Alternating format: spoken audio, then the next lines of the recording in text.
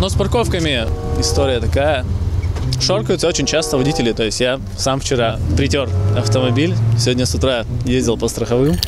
Мы бы хотели, чтобы в нашем жилом комплексе э, среди жителей создавалась некая клубная атмосфера. Это круто, но мне этого мало. Что есть еще? Планировочное решение можете взглянуть, посмотреть.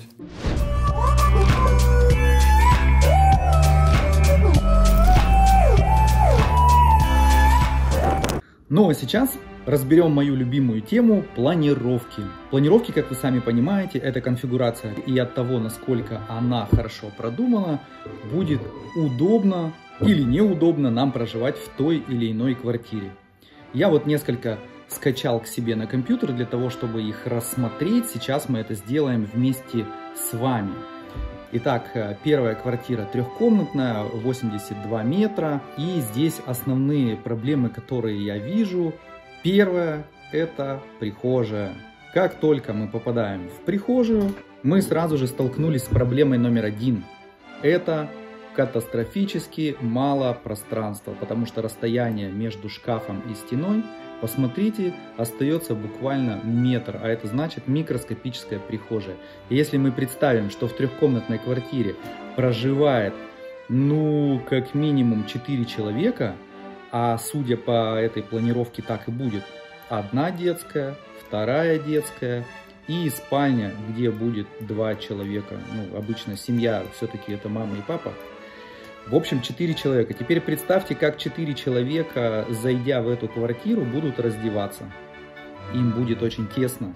И придется двум людям ждать снаружи, а двое будут раздеваться. И пока не разденутся, другие двое сюда не зайдут. А вторая проблема, которую я вижу, это сразу же гостевая комната, буквально слившаяся с прихожей. Иногда это неплохо, но в данной ситуации я считаю это нехорошо. Потому что как только мы заходим в квартиру, нет никакой преграды перед глазами, мы сразу же э, как бы взглядом простреливаем всю эту квартиру насквозь. Она еще и вытянутая, надо сказать, эта комната. Кухонный гарнитур в дальнем краю от солнечного света, а это значит, там будет всегда темно. Еще сюда вот холодильник поставили ребята, которые проектировали, а это значит, они перегородили весь солнечный свет, который мог бы хоть как-то попадать на эту рабочую поверхность. Прижатый стол к стене это тоже плохо, я всегда об этом говорю. Микроскопический смешной диван. Это детский диван.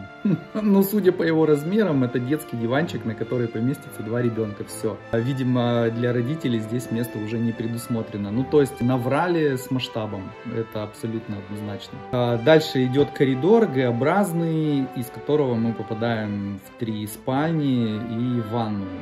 Ванная, ну, более-менее 7 квадратных метров. Это еще ничего размер. И жилые комнаты по 12 метров и вот спальня 14. Абсолютно для меня непонятное расположение мебели. То есть, заходя в спальню, мы сразу же натыкаемся на изголовье кровати, тут же упираемся в торец шкафа. И как бы в этом красивого ничего нет.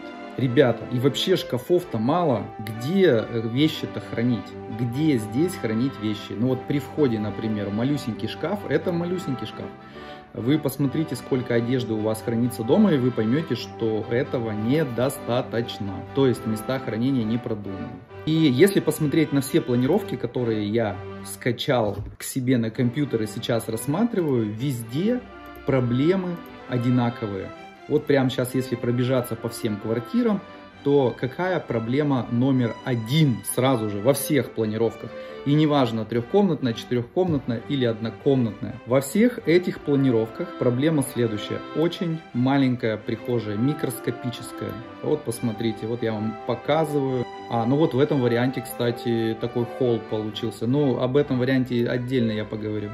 Вот здесь прихожая, смотрите, буква Г, и она очень маленькая. При входе поставили шкаф, причем это даже не шкаф, это так называемый быстрый гардероб, потому что места для шкафа просто нет, некуда поставить. Вот к этой стене не поставить, останется маленький проход. Поставить к этой стене мы не можем, потому что тоже маленький проход остается. Остается кладовочка, вот здесь, видите, кладовка 6 квадратных метров. Ну да, кладовка, но как шкаф она очень маленькая и нефункциональная. Да, конечно, вы ее набьете вещами, но это как коробочка из-под холодильника. Много ли вы туда вещей поместите и вообще удобно ли туда будет заходить? Итак, маленькие прихожие везде и невозможность поставить шкаф для верхней одежды. Вот то, что здесь нарисовано во всех этих примерах, это смешно.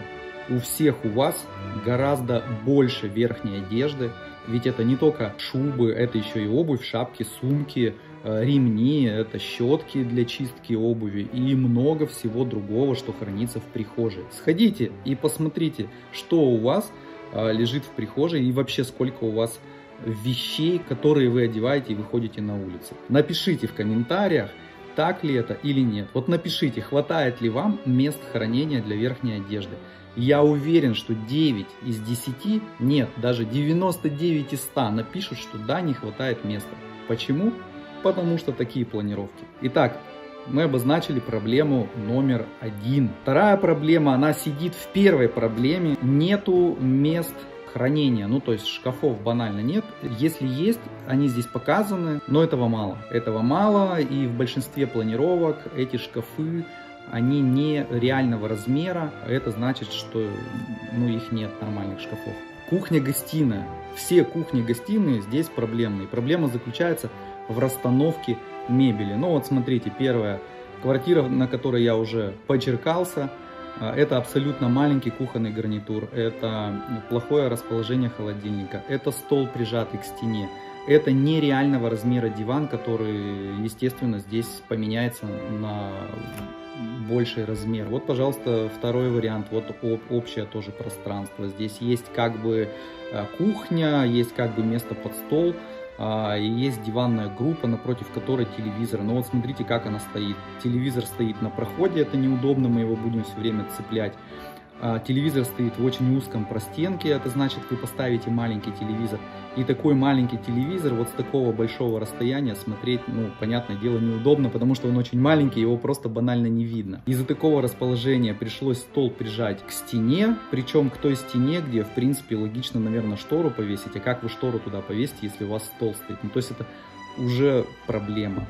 А, да, наверное, стол неплохо было бы поставить вот сюда на кухню, увеличить сам кухонный гарнитур, но почему-то этого не сделали, не знаю почему. Ну, в общем, вот это расположение, оно, конечно, абсолютно дурацкая. Пустует стена в том плане, что можно было бы, например, какой-нибудь комод красивый поставить или даже телевизор сюда переставить. Я бы на самом деле сюда бы его и переставил и поставил бы диван напротив, например. Кресло бы также оставил, и, и чтобы можно было за диваном ходить.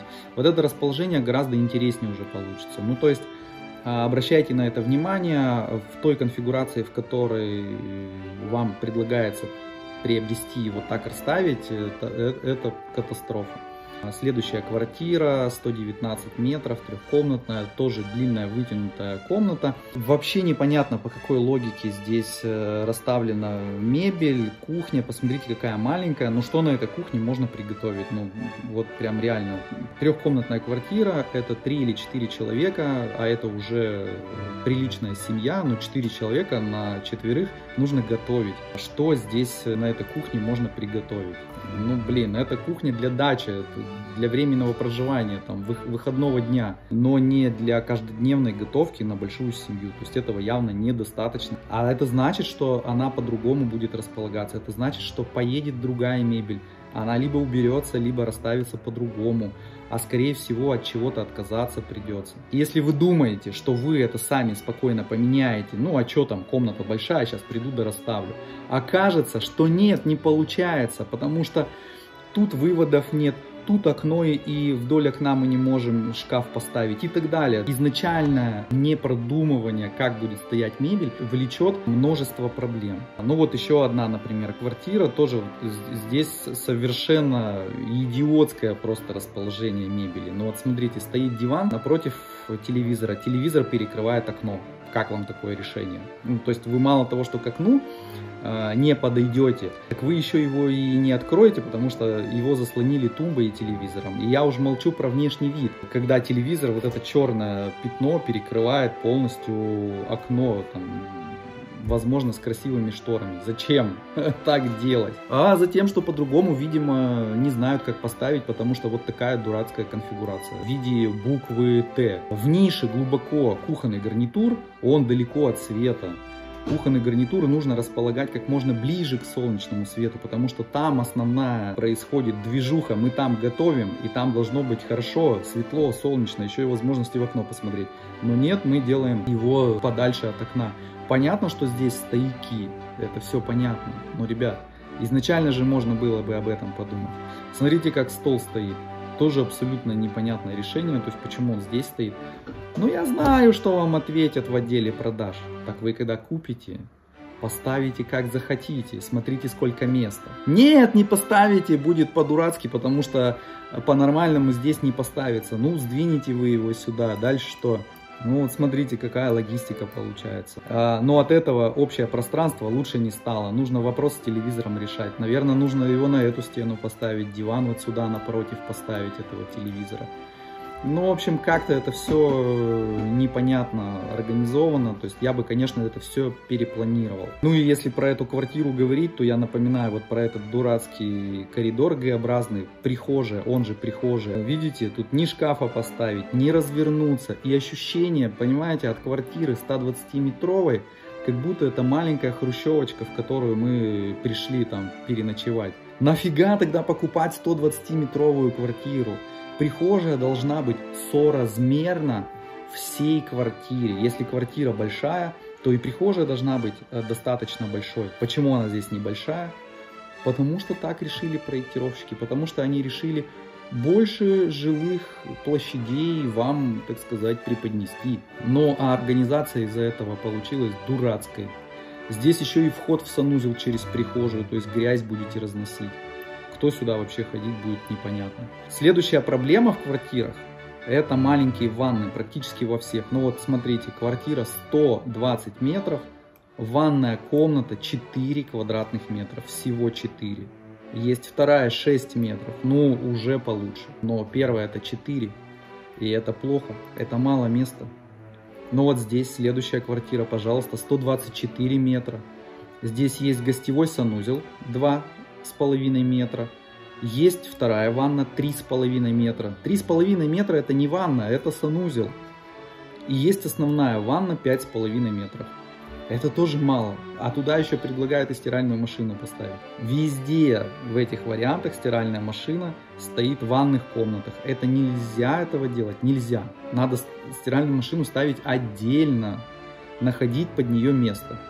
Кладовая или шкаф или что-то еще а потому что стиральная машина занимает место и никак не украшает э, помещение ванной комнаты.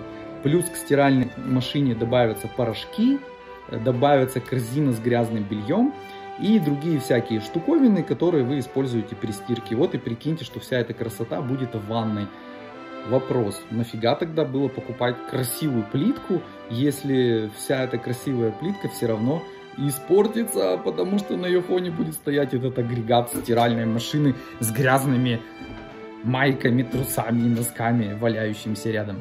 В общем, если подытожить про планировки, то здесь есть э, несколько проблем. Сейчас давайте я их перечислю. Проблема номер один – это маленькие прихожие, катастрофически маленькие, как коробочка из-под холодильника, в которую все домочадцы-то не поместятся, я уж молчу про гостей.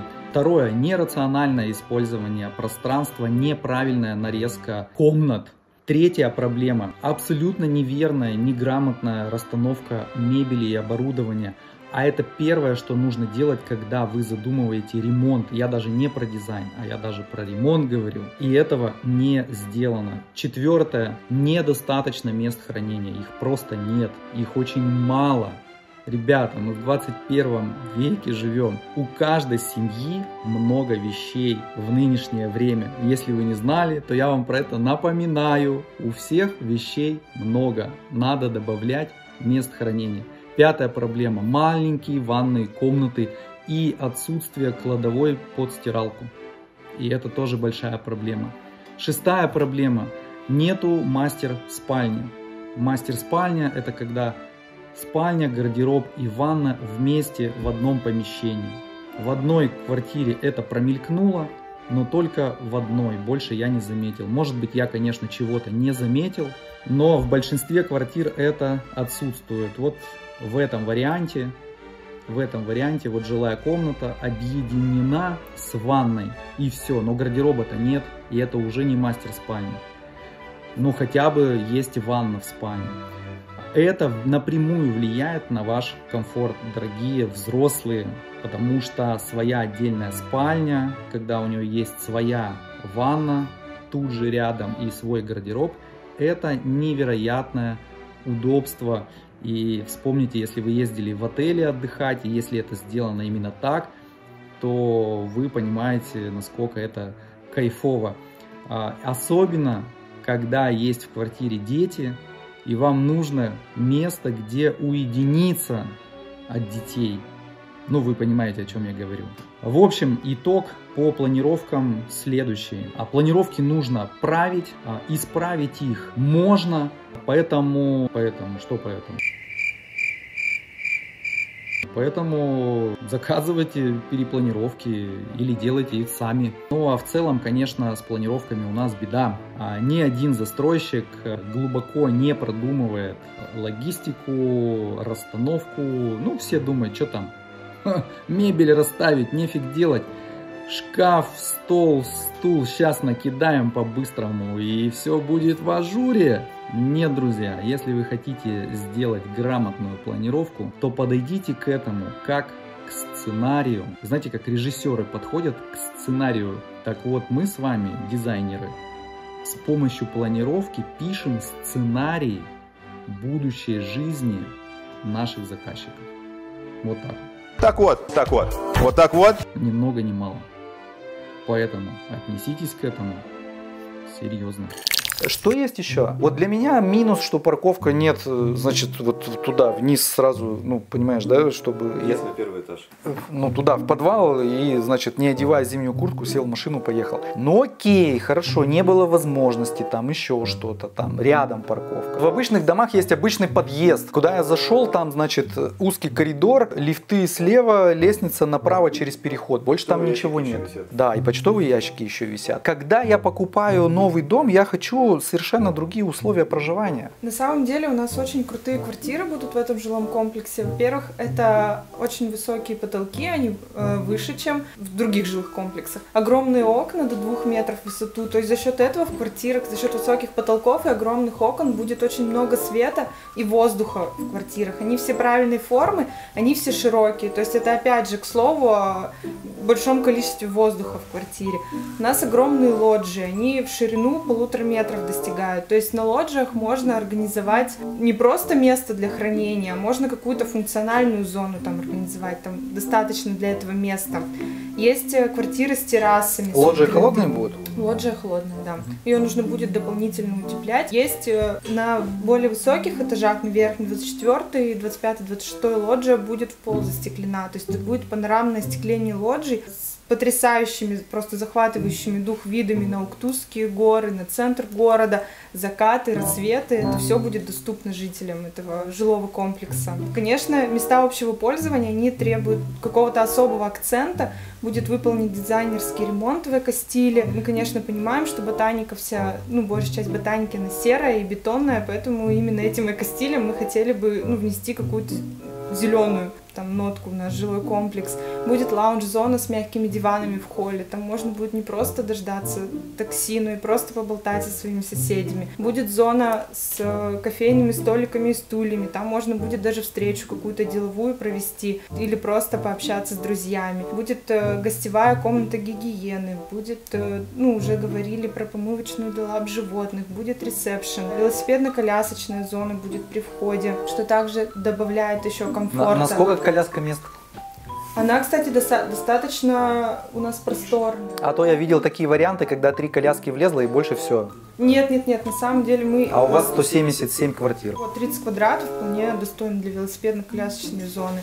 Туда и велики, и коляски, все поместится. Будет э, панорамное остекление в холле, э, причем э, холл и окна, они будут выходить на детскую площадку, то есть прямо сидя в холле на мягких уютных диванах можно наблюдать за тем, что происходит на детской площадке. Про службу консьержа расскажите. Сервисе? Чем он будет заниматься? Консьерж-сервис у нас будет точно так же, допустим, человек будет функционально, он сможет смотреть по видеокамерам, как дети гуляют во дворе, присматривать за ними. Точно так же ему можно будет оставить какие-то посылки, либо попросить что-то сделать ему. Допустим, передать что-то, ну, либо просто посидеть с ним да поговорить. Еще у нас самое главное преимущество это ширина от стены до стены во всех комнатах либо 4 метра, либо 3,5. Стандартные новостройки строятся под 3-3,30. Вытянутые, узкие, как троллейбус или как их называют, а у нас широкие прямоугольные комнаты. Сейчас То есть у вас э, фишка, что комнаты не узкие, 3,5 либо 4 метра ширина. Принято. Это, это прям огонь вообще. Да. Здесь я соглашусь полностью, потому что когда ставишь кровать в 2,80, это уже косяк. Как бы непонятно, как протискиваться. А, да, люди хотят там еще телевизор повесить, еще что-то. Ребята, вы вообще молодцы. Жалко, что вы не, не захотели сниматься. Вы выглядели великолепно, я вам говорю. Вот правда. Все отлично, супер. Сейчас на месте, да, посмотрим еще что там у нас. Поднимаемся на 16 этаж пешком. Я вам скажу, это не просто в тех домах, где потолки 3 метра. Но зато нам обещают умопомрачительный вид. Здесь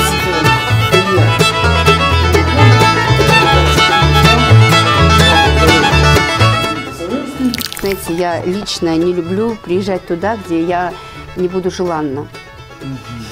Я бы уехал бы, ну, на Фучика, может быть, просто в другой дом, который там поновее стоит лучше, там, чем этот, например, где там поудобнее парковки и вид получше.